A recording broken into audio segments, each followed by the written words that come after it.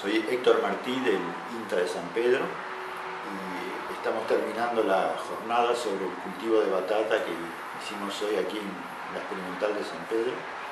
Contamos con la presencia de productores de batata y también con técnicos del INTA de Formosa y de la Facultad de Ciencias Agrarias de la Universidad de, Rosario, con quienes tenemos trabajos en común.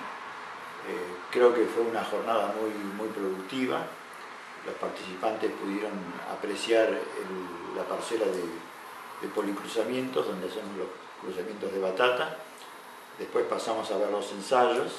Eh, allí pudieron ver eh, distintos clones, en realidad 35 clones.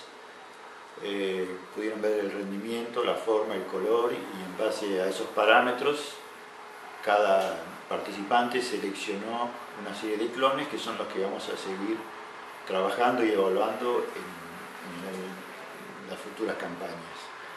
Y también tuvieron la oportunidad de seleccionar plantas obtenidas por semilla, o sea, plantas que genéticamente son diferentes una de otra, que son el inicio de nuevos clones para eh, continuar con el trabajo.